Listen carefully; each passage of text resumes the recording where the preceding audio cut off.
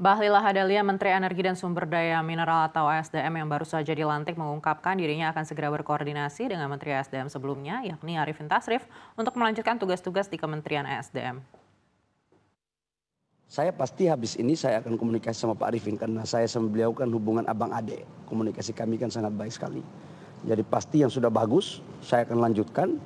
Kemudian saya akan tanyakan apa-apa yang menjadi PR yang harus saya selesaikan.